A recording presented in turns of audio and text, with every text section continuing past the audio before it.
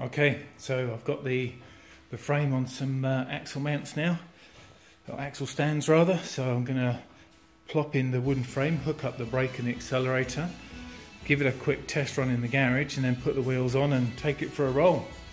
So I'm uh, very pleased. It's looking looking like a real car.